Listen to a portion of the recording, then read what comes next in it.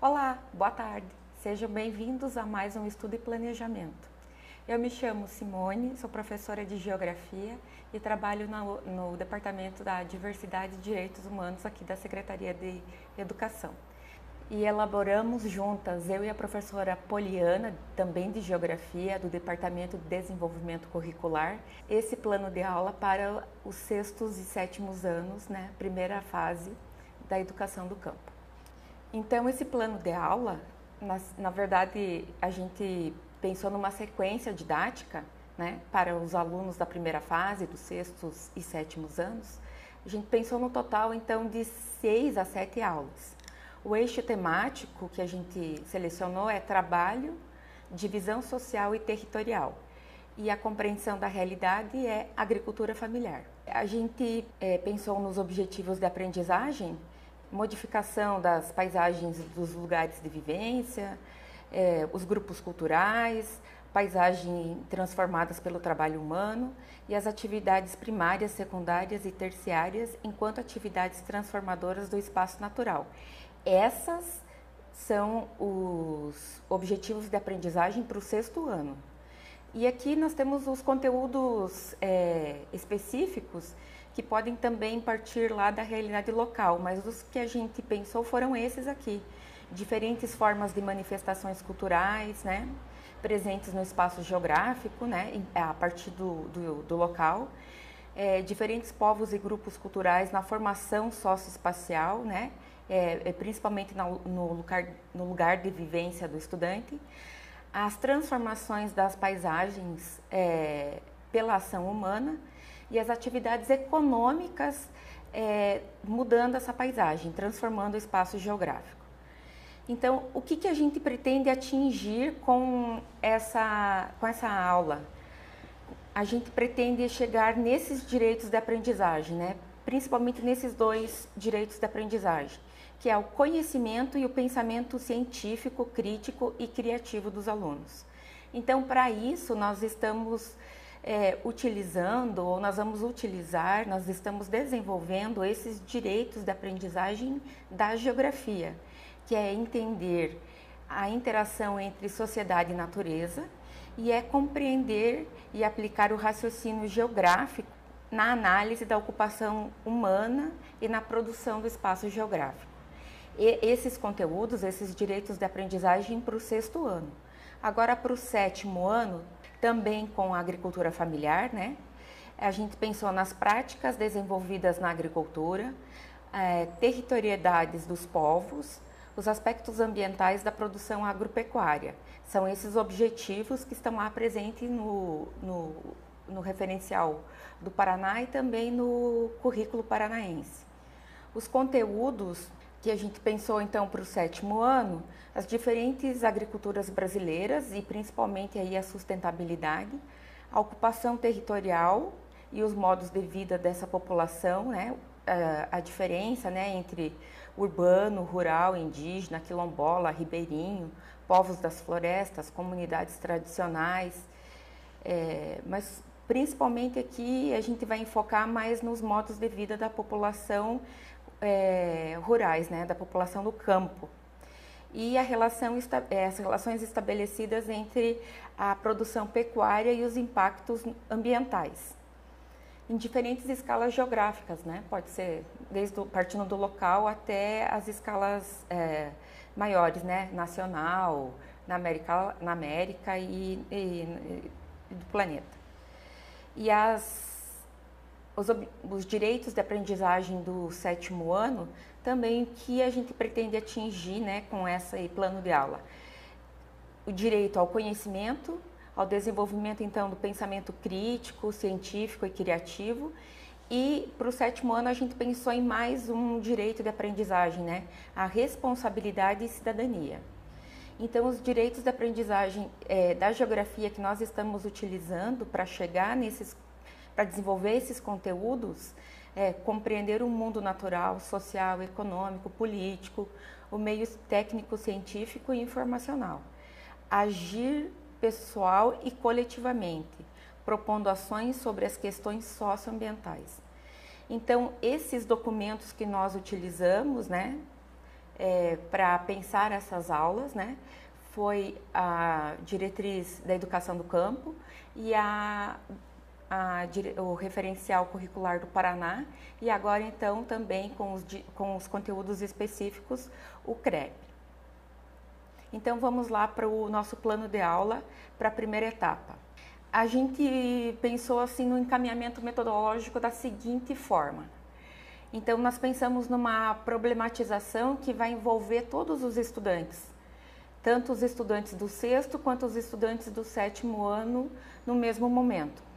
Então eles vão trabalhar juntos. A instrumentalização nós pensamos no trabalho individual é, ou grupos ou em duplas, mas separados. Os estudantes do sexto ano farão um trabalho, os estudantes do sétimo farão outro trabalho. A produção, a aplicação do conhecimento, é, projeto de pesquisa, no, no, no, caso aqui será pesquisa e, e, o, e um outro trabalho, também será em duplas ou em grupo e também estudantes do mesmo ano ou integrado, mas a gente pensou aqui com os estudantes do mesmo ano. E o compartilhamento serão as apresentações, o coletivo da sala de aula, né? Os recursos que a gente pensou aqui, recursos imagens, TV, o computador, é, laboratório multimídia da escola, se a escola tiver, material de pesquisa, né? E a avaliação, a gente pensou primeiro numa avaliação diagnóstica, né, no primeiro momento, para saber o que os alunos sabem sobre a agricultura familiar, sobre o trabalho, sobre a divisão social e territorial. E depois a avaliação é contínua durante todas as, as, as etapas dessa atividade. Então, aqui é o referencial teórico que a gente usou. E aqui então começa a nossa primeira aula é, dita, né? Aqui são as perguntinhas que nós lançamos, então, os questionamentos a partir dessas imagens. É, eu quero que vocês prestem atenção nessas imagens. Nós selecionamos pessoas, então, na agricultura. Primeiro, eu quero que vocês olhem o posicionamento. Elas estão em pé, elas não estão submissas. Né? Segundo, elas estão mostrando, estão felizes com o fruto do seu trabalho. É, estamos falando de agricultura familiar, né?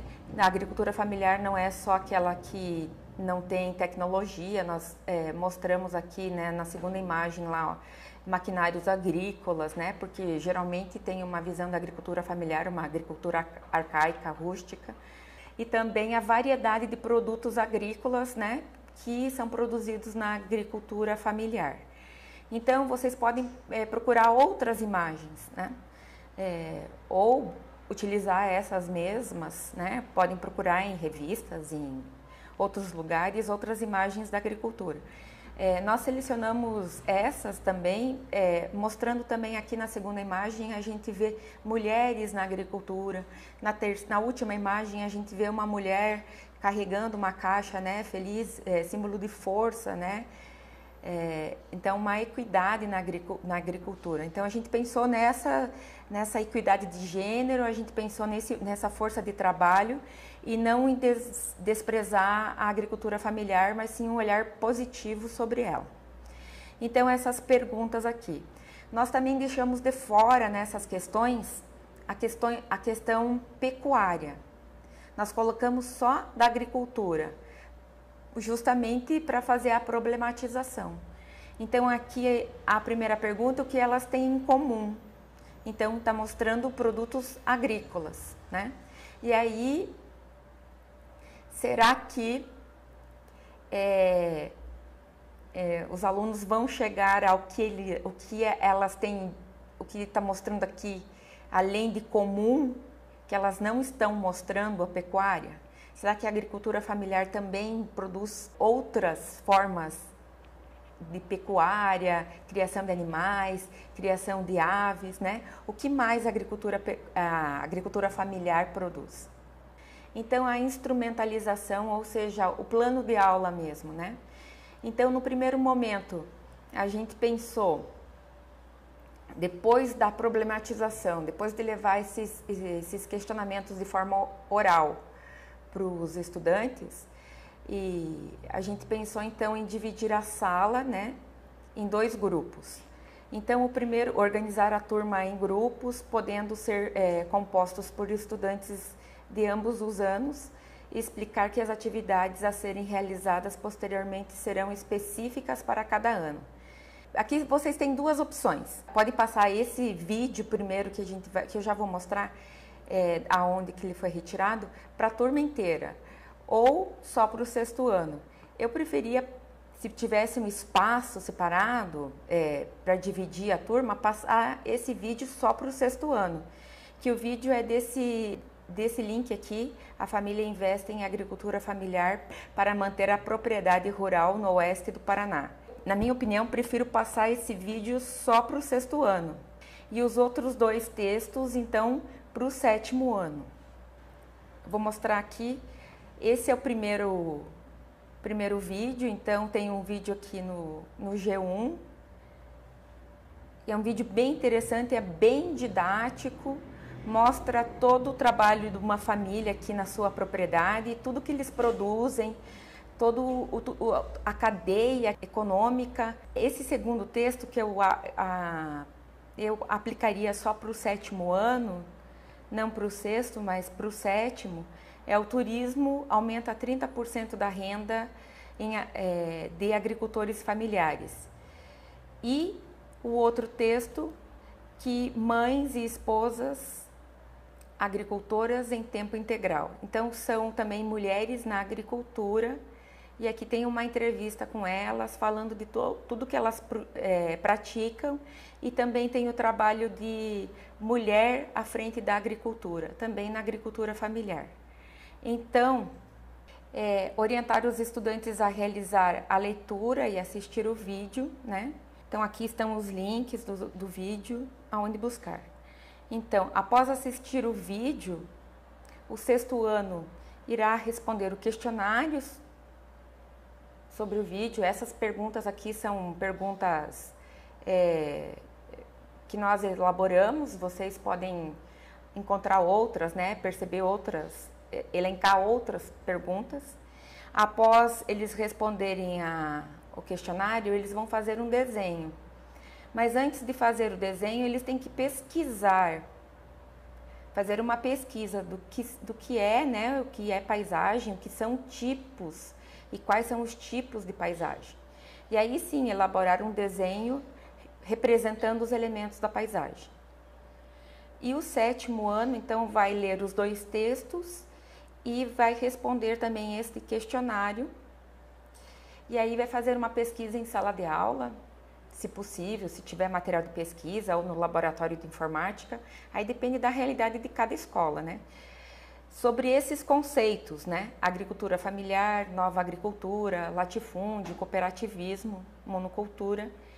E depois que ele fizer essa pesquisa, ele vai partir de um conceito desses só um. Escolher um conceito que ele pesquisou e buscar informações sobre os fatos e políticas deste conceito no Paraná e no Brasil. É, vamos supor que ele pense em escolher agricultura familiar. Então, ele vai buscar sobre é, fatos e políticas públicas da agricultura familiar no Paraná, no Brasil. Ah, ele pode começar também do lugar de onde ele vive, né? Que é o, é o que se espera, né? Do lugar de vivência. Então, é, políticas públicas, o que, que tem de políticas públicas para a agricultura familiar, o que, que tem de políticas públicas é, de incentivo à agricultura familiar no município, no Paraná e no Brasil. Pode pedir para formar grupos e grupos pesquisarem em temas diferentes, né? É, conceitos diferentes, né, para não ficar todos num só. E aí eles compararem, né, o que tem de incentivo entre a agricultura familiar e o, e o latifúndio. E aí a gente vai para a avaliação dessas atividades. Então, a avaliação são o questionário e as atividades de pesquisa, né, do sexto ano, é, pesquisa e desenho. E o sétimo ano também é o questionário sobre as reportagens e a atividade de pesquisa.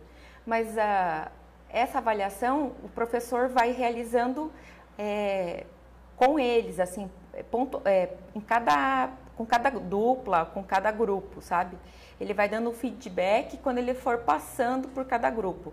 Ele não vai fazer uma avaliação geral. Então a gente quer que o professor converse, vai explicando com cada estudante, vai dando feedback aí dos pontos fortes, do que os, os estudantes podem melhorar, do que pode ser aprofundado, do que pode ser complementado. Então é aí já vai fazendo anotações, né? O professor já vai fazendo anotações da avaliação, né? Do que, do como foi o trabalho em grupo, é do que os conceitos se os estudantes conseguiram é, entender isso, se apropriar desses conceitos a partir do desenho, a partir da pesquisa.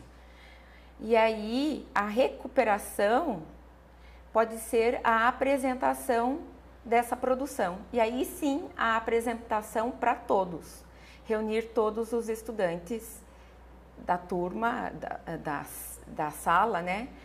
Do primeira fase, sexto e sétimo ano, e fazer uma apresentação para todos. Mas não terminar ali numa apresentação simplesmente. Depois da apresentação, a gente sugere uma roda de conversa. A gente está chamando aqui de roda de vivência dos estudantes, porque a gente está partindo então do, do espaço de vivência, né? Vamos é, pensar. A gente está trabalhando com conteúdo que é da comunidade, que é do seu local de vivência, que é agricultura, agropecuária. Então a gente quer conversar com eles aqui, né, nesse momento. O que, que é produzido na comunidade, por que, que é produzido esse produto ou esses produtos, quais são as principais cadeias produtivas, né? Por que, que esse produto é produzido aqui, daqui ele vai para uma cooperativa ou ele vai para uma agroindústria e daqui da agroindústria ele vai para onde, é, ele é vendido aonde, qual o mercado consumidor, né? Pensar na cadeia produtiva, né? né? Quanto ele custa aqui na comunidade, quanto ele vai, ele sai daqui, ele vai aumenta o preço, quando ele chega no supermercado quanto que está custando e quem compra esses, esses produtos, né? É, qual o mercado consumidor desses produtos, né? Que são produzidos aqui, para onde vão, né? É, a agricultura familiar é um modo de produção comum aqui na nossa comunidade ou não? É, o, e também existem outras formas de trabalho aqui na nossa comunidade, além do trabalho agropecuário? Além das pessoas trabalharem nas suas próprias comunidades, existe uma outra forma de trabalho? Que forma de trabalho é essa? Quais são as características dessa forma de trabalho? Né? Como é pago? Como que as pessoas sobrevivem? Na região aqui, na nossa região onde a gente mora, no nosso município, do que sobrevivem as pessoas? Né? Qual a principal fonte de renda? É agricultura? Não é agricultura? Então, aqui, nesse, nessa vivência com os estudantes, tem muito mais perguntas a serem feitas. Nós colocamos umas perguntas muito gerais aqui, porque esse espaço de vivência depende de cada escola, depende de cada local, depende de cada situação ali, de cada produto, né? Por exemplo, aqui na região metropolitana de Curitiba, existe a produção de hortaliças. Na região sudoeste existe produção de feijão, existe produção de milho, existe produção de mandioca, existe produção de outras, ah, de, de aves, né? Por, por agricultura familiar ou por, por médias propriedades que, é, que também se caracterizam como agricultura familiar ou não, né? Então, é, o professor nesse momento ele vai poder explorar muito muita, muitas coisas a partir da vivência dos estudantes, a partir da, da, do local de vivência. Então, a gente pensou assim em primeiro estudar os conteúdos, estudar os conceitos, perceber que não é um local que não é diferente de outros lugares, que não é diferente de outros, de outros modos de produção, que existe um modo de produção agrícola. E aí, então, chegar no lugar de vivência e mostrar esse, esse lado positivo, né? E do tudo que é produzido pela agricultura. E Aí dá para trabalhar com matemática, né? É, quanto que a agricultura familiar produz no Paraná? O Paraná é o maior produtor de mandioca do Brasil.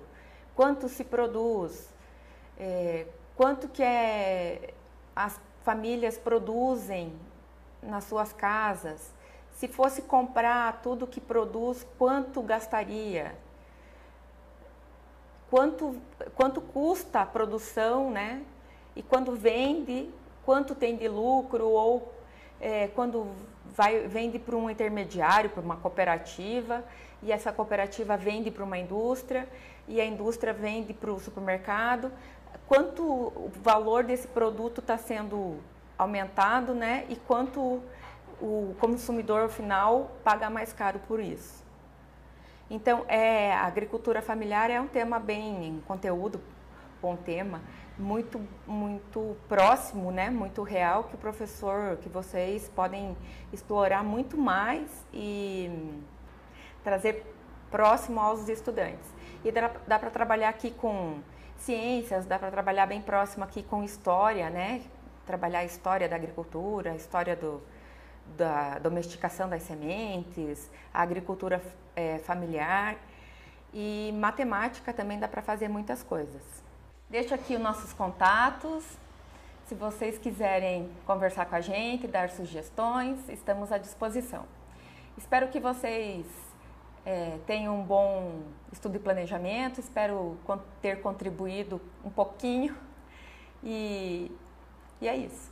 Obrigada.